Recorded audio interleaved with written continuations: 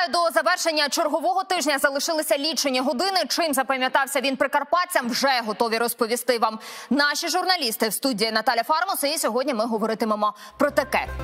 Дитячі самогубства, через що підлітки накладають на себе руки, з'ясовувала я, Ольга Бабенко. Врятувати життя, як стати донором кісткового мозку та чому бути ним не страшно, дізнався я, Кирил Верязкін.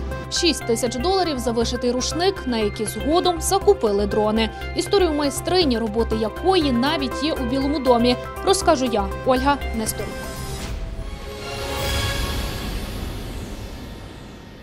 Наш випуск ми розпочинаємо із доволі важкої теми. Близько 120 дітей закінчують життя самогубством. Таку статистику щороку фіксують в Україні. Причин для цього чимало пояснюють експерти. Це і психологічний тиск, і проблеми в родині та школі, і навіть вплив війни.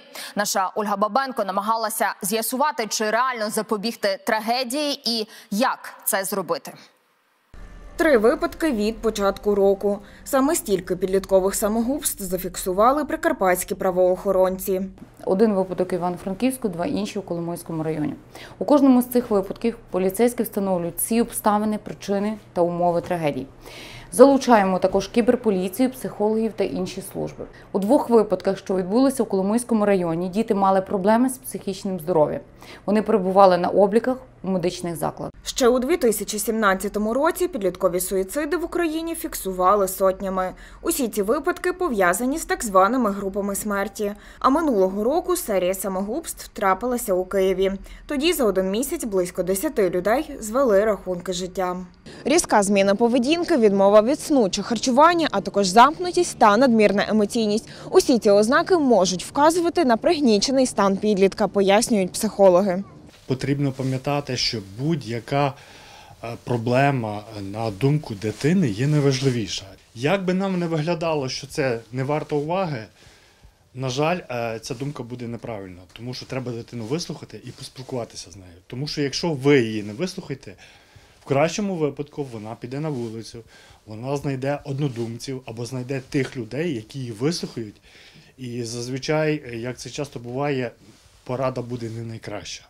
За статистикою Всесвітньої організації з охорони здоров'я, суїцид третя за частотою причина смертності серед підлітків. І цьому є пояснення, додає Василь Серденько. Більшості е, підлітків у них ще мало досвіду, е, мало інформації, в кого є багато достатньо інформації. Ну, то буває по-різному, в залежності від е, цікавості до життя. І вони, звичайно, сприймають те, е, настільки вони мають ту інформацію в своїй голові. А так, якщо відсутність досвіду, їм важко це порівняти, чи це добре, чи це зле. Тому от приймають такі рішення. При суїцидальних нахилах поведінка підлітка зміниться практично одразу. Головне для батьків вчасно помітити це та негайно відреагувати, передусім через спілкування з дитиною. Звичайно, треба брати участь в її просто повсякденному житті, питатися, як не просто як тебе справи, чи все добре на е, в школі, чи там на, на заняттях, а більш глибше.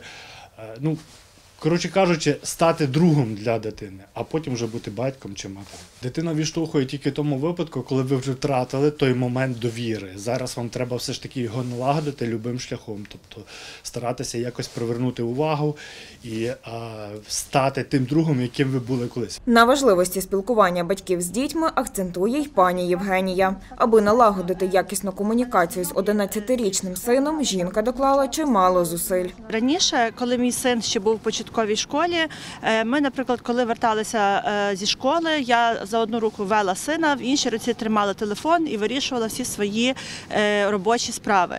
І моя дитина, тобто, йшла поруч, але спілкування як такого у нас не було. Я десь роки три тому це усвідомила, зрозуміла і почала виправляти. Відтак жінка запровадила в сім'ї декілька нових правил. Після 10 вечора і до 10 ранку ми гаджетами не користуємося. Користуємося. Це у нас заборонено, тобто перед сном і після сну.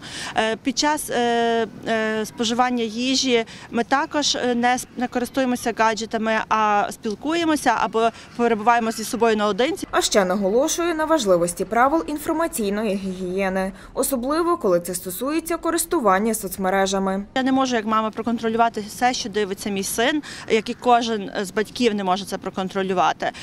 І для цього треба просто обговорювати. Я стараюся обговорювати зі своєю дитиною, що він дивиться, чи він е, розуміє, що є погані люди, які можуть впливати, які можуть не тільки, наприклад. ем, Спонукати до якихось е, неправомірних дій, але можуть спонукати до е, того, щоб людина е, нашкодила сама собі. Якщо ж розмов із підлітком недостатньо або він продовжує замикатися у собі та змінює поведінку, батькам потрібно звернутися до спеціалістів, наголошують психологи.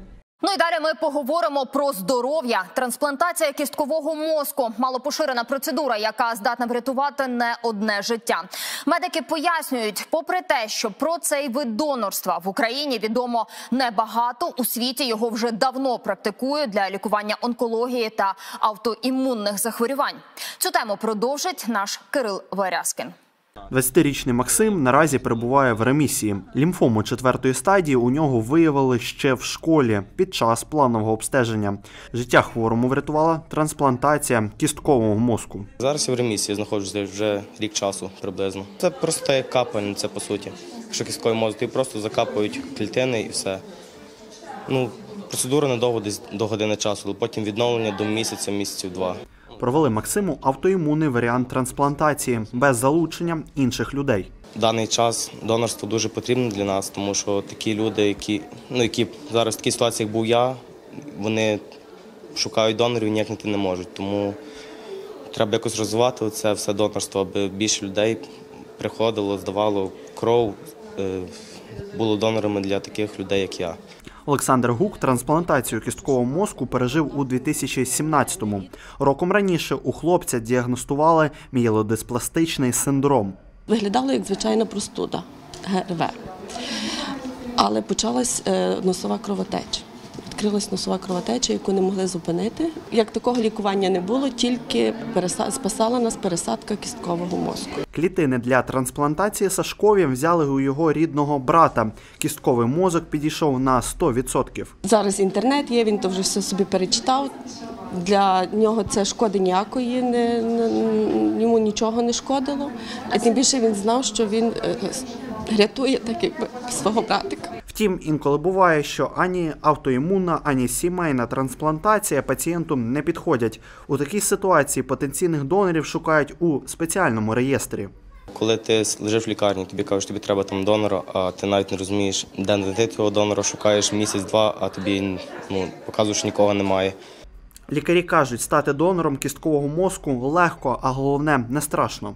От ми покажемо, як це просто. Володь, прошу. І внутрішня сторона поверхні з однієї сторони ви крутите, прокручуємо, і близько хвилини ми прокручуємо. Ми відправляємо е, ці е, е, аналізи уже на дослідження, і по суті верифікується, скажімо так, генетичний код даного пацієнта, да- даного донора, це неправильно сказати, даного донора. І по суті, це вже людина входить в реєстр. Доступ до такого реєстру мають тисячі медичних установ по всьому світу. Якщо характеристики пацієнта та донора збігаються, останньому пропонують процедуру забору кісткового мозку. Чомусь всі думають, що стати донором кісткового мозку це десь в якийсь кіс- кістковий мозок мають заходити, якісь травматичні робити процедури. А насправді це є забір крові з вени.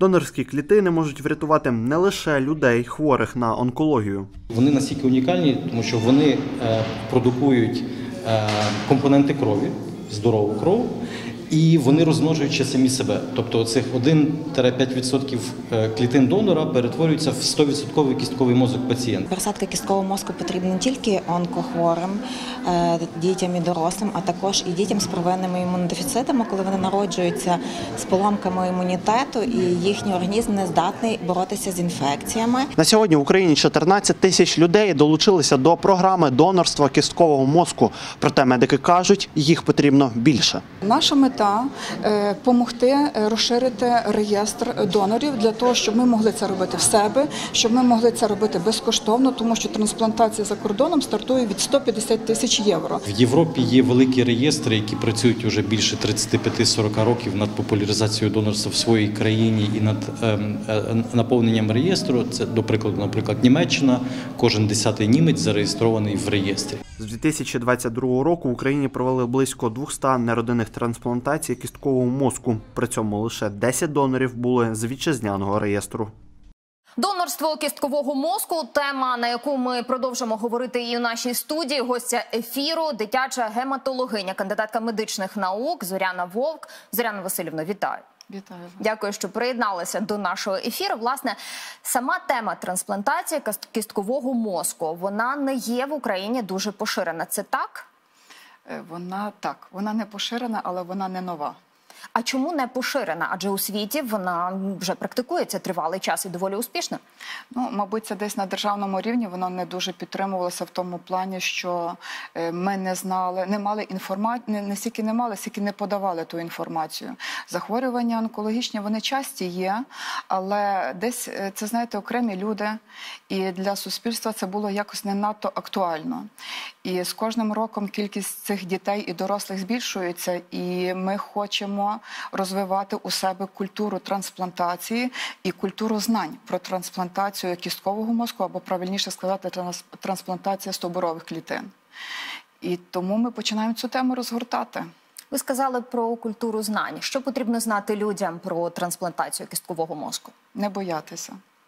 Це не страшно. Е, Чому? Тому що е, коли ми цю тему е, почали піднімати, зокрема, от цього тижня вже була більш така поширена акція для того, щоб ознайомити людей. В основному це були медики, і ми вирішили робити ставку на лікарів-інтернів і на студентів. Чому?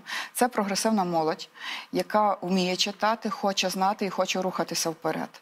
І тому ми провели таку з ними е, презентацію, по суті, міні-конференцію про те, що це таке є. Що це не страшно. Чому? Тому що коли я поспілкувалася навіть з медиками, е, які оточують мене, я зрозуміла, знань взагалі немає і дуже страшно. Навіть серед медиків, що вже говорити про пересічних так, людей. Так, тому ми почали цю тему якось розгортати, бо е, це, знаєте, трошки виглядає дико. Вибачте, Е, за кордоном справді е, е, реєстри донорів дуже великі, і саме цікаве, що там е, якраз культура знань розвивається з шкільного віку.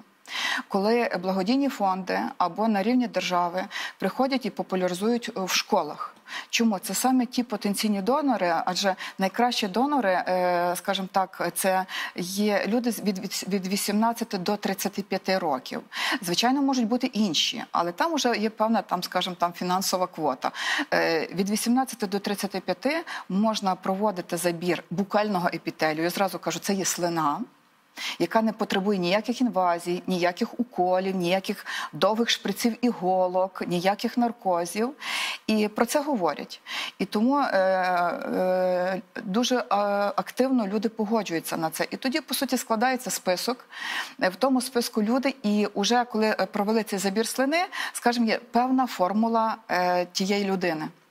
І по тій формулі вона заходить в базу. І коли, наприклад, десь в світі, або ми от зараз говоримо про Україну саме, е, сходяться двоє людей однакові, ідентичні, то це є ключ до замка. І можливо, одна людина потребує зустрічі з іншою. Тому кажу, це не страшно, це не тяжко, це, це просто легко, просто мати бажання, і це ніяких е, страшних там інвазій і якихось проблематичних речей, які би шкодили здоров'ю тої людини, е, яка би могла бути потенційним донором. Чи багато людей в нашій області потребують пересадки кісткового мозку? І що це за випадки? Е, Кожного року е, такі пацієнти є. Ну і зокрема, у нас зараз хлопчик е, чекав по суті 4 місяці на те, щоб зустрітися зі своїм донором. Ми зробили це, називається шаля типування, тобто там був забір крові з вени. Крові з е, його і його батьків. Ми надіялися, що вони підійдуть між собою. Вони не підійшли повністю, тобто тільки на 50%. І тому е, задіяли уже оцей метод, що я сказала, забір слини і відправлений був в Німеччину. І там знайшовся донор. І от зараз в грудні місяці ми відправляємо нашого хлопчика до Києва, де буде проводитися якраз саме трансплантація. Кожного року є такі діти. І, до речі, дорослих більше потребує, аніж дітей, чесно кажучи. Є декілька видів трансплантації. Тобто, перше, це ауто, коли людина може бути сама собі донором. Друге, це коли е, родичі можуть бути. До речі, е, трансплантація кісткового мозку або стовбурових клітин від родичів, вона для нас не нова. З 2000 року успішно проводяться трансплантації в Києві, і в нас багато дітей, навіть в нашій області, які вже стали дорослими, вони живуть і ходять, і все добре. І третій варіант це від неродинного донора. От якраз про що ми зараз говоримо? Ми хочемо зібрати реєстр, ми хочемо зібрати людей, е, тобто інформацію про людей, які згідні стати в майбутньому донорами. Тобто, це проведеться просто забір крові з вени, відсепарується клітинка, і вони зможуть стати донорами. Це не, не так вже й тяжко. Просто мати бажання. Е, Успішність власне трансплантації кісткового мозку. Наскільки вона є високою? Е, ну, скажімо так, вона е, практично одинакова в цілому світі, зокрема і в нас. Е, ну, скажімо так, 60-70% е, це є успішні трансплантації. Чому? Тому що, по суті, це достатньо тяжкий процес саме для тої людини, яка буде реципієнтом, яка буде отримувати. Вона має мати певні вимоги щодо здоров'я, щодо стану, щодо е, крові, для того, щоб е, воно успішно прижилося. Тобто це все індивідуально. Індивідуально. Це індивідуально. Так, це індивідуально. Це дорого? Е, ну, скажімо так, от е, в Україні це безкоштовно. Тобто ми відправляємо пацієнта. У нас є вісім центрів для трансплантації кісткового мозку, і це для пацієнтів безкоштовно. Цим опікується держава.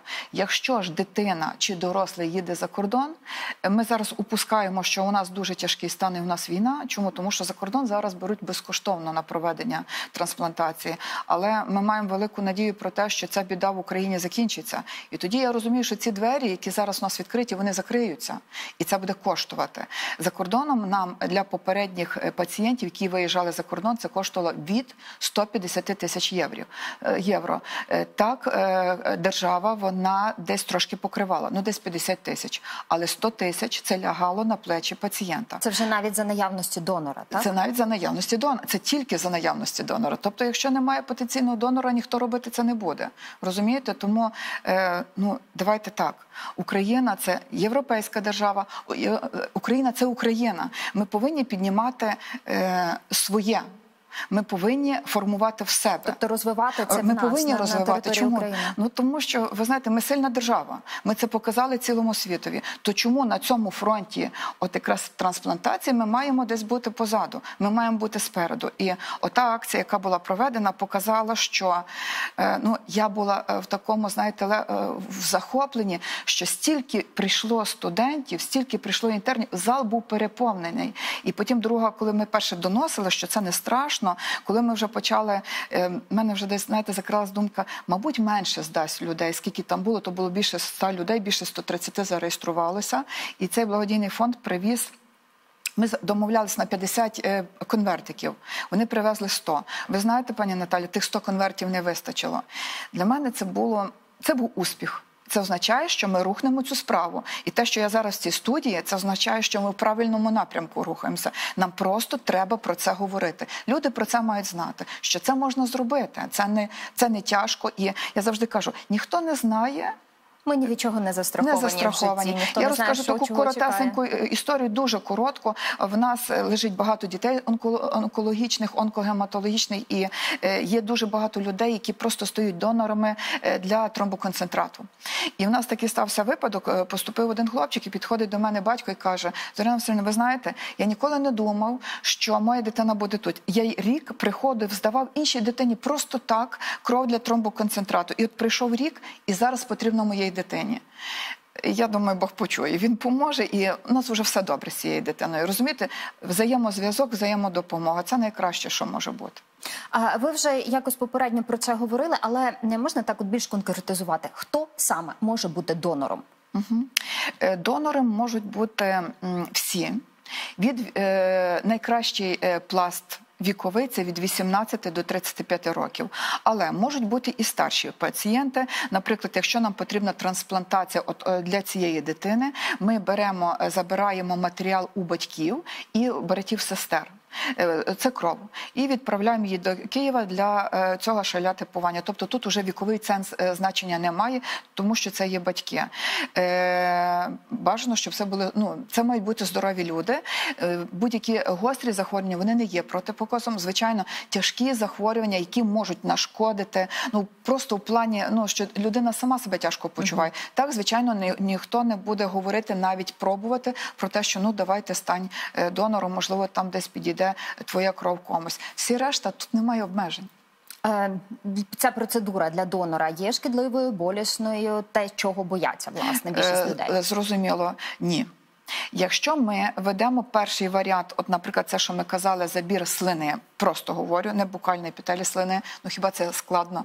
Ми зуби чистимо кожен день, правда? І тут навіть не потрібно якогось окремого підходу до цього.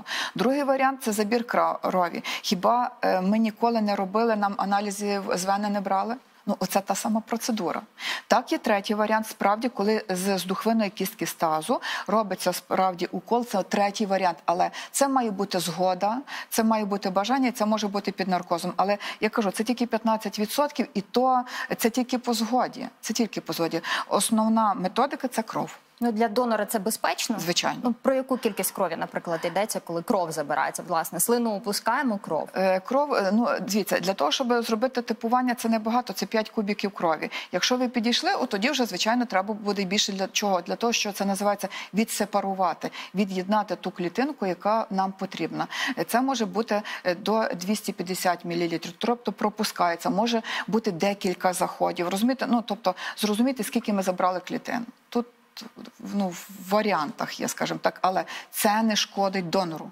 В ніякому випадку, в ніякому. В жодних випадках, які проводилися такі дослідження, ну, ну жодного не було. Ніякого шкідливого впливу Ні, на ні, здоров'я ні, донора ні, не ні, ні, було. ні. Зоряна Васильівна, якщо нас зараз дивляться люди, які там почули, вирішили для себе стати донорами, що їм потрібно робити? От куди їм потрібно піти, як їм власне здати ці всі аналізи необхідні для того, щоб стати донором? Ем, Тут, е, по суті, ми починаємо цю акцію, скажімо так.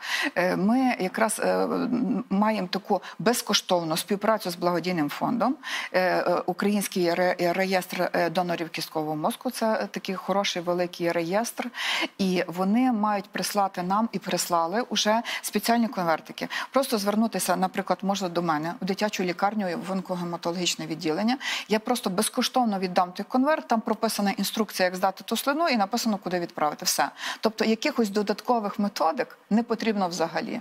Е, Зразу кажу, е, я ще запросила ще певну кількість цих конвертів для того, що от є вже відділені діти, які потенційно. Ще батькам я не казала, але я знаю, що там буде потрібна трансплантація. Тому я просто їм дам, і що вони найближчим своїм родичам будемо мати надію, що хтось підійде, щоб ми мали родинного донора. Це найкращий варіант. Зоряна Васильівна, їм дуже дякую, що і прийшли на нас на наш ефір. І власне за все те, що робите. Дякую вам за врятовані дитячі життя. Глядачам нагадаю, що гостею нашого ефіру була Зоряна Вовк, дитяча гематологиня, кандидатка медичних наук. Ну а ми продовжуємо наш випуск. Чай, який викликає залежність в Україні, заборонили продаж напоїв із вмістом кратуму і віднесли цю речовину до переліку наркотичних засобів. Наскільки він шкідливий як впливає на організм людини, наша Вікторія Резун розкаже. Чай кратом це напій з тропічної рослини, яка росте у південно-східній Азії. Його вживають для зняття втоми та підвищення концентрації. Це є е, напій, який має психоактивну дію, е, має легкий такий розслабляючий ефект, викликає легку ейфорію, підвищення працездатності, комунікабельність. І тому, особливо зараз, враховуючи теперішній час і емоційні стреси, е, він е, став популярним. Напої на основі кратому, які набули популярності серед молоді, були доступні як у кав'ярнях, так і в інтернет-магазинах. Рекламували їх як натуральний стимулятор для поліпшення настрою. Є в мене одногрупник, який постійно ну, їм, йому подобається. Мені здається, що це небезпечно для здоров'я і може понести потім негативні наслідки. Наслідки надмірного вживання кратому бачив на власні очі Василь. Його друзі полюбляли цей напій. У них почалася ломка, по два рази на день. І якщо вони були, я бачу, як вони день його не пили, то їх дуже сильно ломило. Вони ставали злими, агресивними дуже до людей. І краще пити чай, капучино Наразі в Україні продавати кратом не можна, адже його внесли до списку заборонених психотропних речовин. Їх е, поширення, збут, е, зберігання, наприклад, і інші дії, які становлять елемент такого обігу, можуть вже каратися відповідним чином або розглядатися залежно від е, того, про який обсяг йдеться. Та залежно від цього можуть розглядатися або як адміністративне правопорушення, або як кримінальне правопорушення. На заборону кратому в соцмережах відреагували більшість місцевих кав'ярень. Привіт, друзі! Є новини. Сьогодні вступила у дію постанова Кабінету міністрів України про внесення кратому до списку заборонених речовин. Тож віднині ми більше не готуємо та не продаємо кратом. Дякуємо за розуміння та чекаємо на каву. Напої з кратумом можуть викликати розлади сну, запаморочення та навіть наркотичну залежність. Діюча речовина цього цієї рослини прирівнюється до опіатів. Він почали спостерігати, що він викликає залежність. І люди, наприклад, які там хотіли випити цей чай раз на день, раз на тиждень, відчувши ефект. І бажаний ефект, вони все більше чи пізніше все більше і більше хотіли вживати даний напій. 15 листопада Кабінет міністрів додав цю речовину у перелік психотропних, тому її продаж по всій Україні наразі заборонений.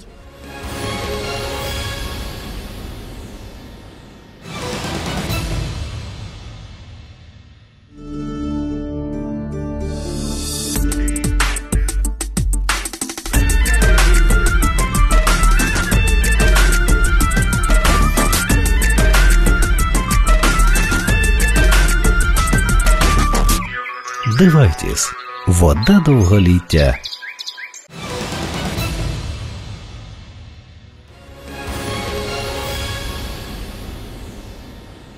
Вона вишивала для Джо Байдена, Урсули фон дер Ляєн та Володимира Зеленського. Українська діаспора в США її рушник оцінила у 6 тисяч доларів, на які 83-річна калузька майстриня закупила дрони для наших захисників. Проте роботою усього свого життя Розалія Буднарчук називає рушник перемоги, який уже передала президенту. І з вишивальницею познайомилася і наша Ольга Нестерук. Перший рушник, який вишила після повномасштабного вторгнення Розалія Семенівна, подарувала Володимиру Зеленському, а далі взялася за роботи для українських міст героїв та світових політичних лідерів. Другий був Бучі, е, от потім був Урсулі фон дер Ляєн, потім я вишивала Байдену, президенту. Оце е, Джозефу Байдену. Е, Потім я вишивала Борису Джонсону. Потім я вишивала третій штурмовій. Теж мене волонтери попросили. Потім я вишивала Джастіну Трюдо. І тоді вже пішли Валерію Залужному 50, до 50-річчя, а тоді вже пішли Ірпінь, Ірпінь, тоді вже пішов Херсон. І е, немає ще Миколаївщини, тут немає фотографії цьому Віталію Кіму. Я вислала також. Вміло користуватися голкою та ниткою пані Розалію навчила її мати. З часом жінка лише вдосконалювала своє вміння, аби її вироби ставали ще кращими. Мене все життя приваблює краса. А наша українська вишивка, вона особлива, вона славиться на весь світ. Е, Україна і вишивка це нероздільне. Для мене це в першу чергу відпочинок. І, і така естетична насолода, тому що коли бачиш результати своєї праці, і це тішить, зігріває душу. За час Великої війни Розалія Боднарчук вишила більше 15 рушників. Нещодавно вирішила ще й долучитися до аукціону. Через знайомого на благодійний захід передала власноруч створену картину. Я сподівалася, що за нею торгують хоча б на один дрон. І я казала, щоб цей дрон упав на голову Путіну, щоб від нього і мокрого місця не залишилось. Ну, на жаль, не давали відповідної суми. А він сказав, значить, ще немає на неї купця достойного. На прохання того таки ж знайомого Розалія Семенівна вишила рушник для української діаспори в Чикаго як подяку за допомогу для України. Це е, типовий український візерунок. Я дуже роблю багато мережки ще на рушниках. І на одній половинці я вишила українській діаспорі в США дякуємо. А на цій половинці я вишила слова із пісні Андрія Малишка, пісня про рушник, і в дорогу далеку, і рушник вишиваний. І цей рушник він там шокував, наскільки мені сказали. Там не одна сльоза витекла з очей. Що буде з цим рушником далі, Розалія Семенівна й уявити не могла. І тут дзвінок. І каже, Розалія Семенівна, ви мріяли про один е, дрон, а їх уже є е, від вашого імені аж 15. Це для мене було таке, таким шоком, ну, такою приємною новиною. І каже, що ваш рушник знайшов своє постійне місце перебування. Е, Головний найбільший е, греко-католицький храм у місті Чикаго. За три дні українська діаспора зібрала 6 тисяч доларів і придбала дрони для наших захисників. На сьогодні вони уже у військовослужбовців 10-ї гірсько-штурмової бригади. А поки пані Розалія дошиває рушник для Харкова і вже має нове замовлення з Америки. На е, вишиті заповіт Тараса Григоровича, на камінярі Івана Яковича і на молитву до України. І це мені принесли вчора вже відразу мені принесли взірці. Ну, вони мені сподобались. Очевидно, я тут вплету ще свої національні кольори. За нову роботу для української діаспори Калушанка візьметься уже наступного тижня. У планах є ще декілька виробів, завдяки яким хоче продовжувати допомагати війську, адже вірить у перемогу України, до якої підготувала особливу вишивку. Рушник перемоги вже готовий, двометровий, майже весь зашитий, по 90 сантиметрів вишивки з обох і разом з мережками. Тут на фотографії так не видно. І я е, запропонувала там ще вишити е, е, цей прапор невеличкий і тризуб. Мисткиня свій виріб також уже встигла відправити президенту. Мріє, що саме на її рушник покладуть нагороди для тих, хто боровся за українську незалежність. За кілька днів до свята Миколая більшість листів я припускаю уже написані. Ну а діти та дорослі в очікуванні див та подарунків. Цього тижня волонтери та благодійники намагалися всіляко привернути увагу до дітей-сиріт та тих, хто позбавлений батьківського піклування. У кожного із вас ще є час, аби долучитися до доброї справи. Як це зробити? Дивіться далі. Святий Миколай, в мене є побажання. Принеси мені, будь ласка, гарні спортивні зимові кросівки, теплий спортивний костюм, чорну зимову куртку. Також, щоб тато був здоровий, він інвалід першої групи, і щоб закінчилась війна. Всім добра та миру. Лист написаний до Небесної канцелярії Святому Миколаю. Це один із листів до Миколая, який потрапив до рук представників благодійного фонду Час добра та милосердя. Його написав 12-річний Давид. Нещодавно хлопець втратив матір, а зараз із тяжким захворюванням бореться і батько. Таких листів від малюків, які перебувають у складних життєвих обставинах, волонтери отримали більше двох сотень. Ще близько 30 написали мешканці прихистку матері та дитини. Ну, я написала, що я хочу бісер і санки, і солодості. Я люблю з бісером любити браслети. Я написав, що щоб закінчилася війна, щоб наші воїни повернулися здоровими і живими, і щоб в нашій родині був мир та злагода і по всій країні. І тепле взуття, і рукавички зимові, щоб я не мерз, і фрукти. Писати листи до чудотворця тут діти почали ще наприкінці жовтня. Дітки дуже з, з таким ентузіазмом малювали, да, хтось там в когось там підглядав, хтось, а що будеш ти писати? А що мені? Хтось питав в мами навіть ті самі елементарні розміри, але це така дуже така атмосфера була. Е, всі, всі разом, всі злагоджено, діти пишуть, хтось допомагає малювати, хтось з мам допомагає писати. Тобто це якось зблизило всіх. і таку дало нотку, нотку радості. Майже у кожному дитячому посланні є згадка про солодощі та фрукти. А ще вони просять у Миколая іграшки й теплий одяг. Є такі листи, які просто ну, зачіпляють заживе, і діти просять таке, що наші з вами діти ну, про це не думають, що це має принести Миколай. Тобто це мають купити батьки, а вони просять тепле взуття, теплу куртку. Дехто описує це вже, якщо беремо більше підлітків, це дівчатка, вони описують, яка це має бути курточка. Ну тобто, це ж всі мають дітки однокласників, от вони хочуть не хочуть виділятися. Тобто є такі листи, такі більш з подробностями, які мають бути, який має бути одяг. Із малюнків дітей-сиріт, які писали листи до святого уже у Мальтійській службі, волонтери та художники Івано-Франківська вирішили створити пересувну інсталяцію Миколая Чудотворця. У ній зібрали чимало робіт. Акуратно перевертаємо.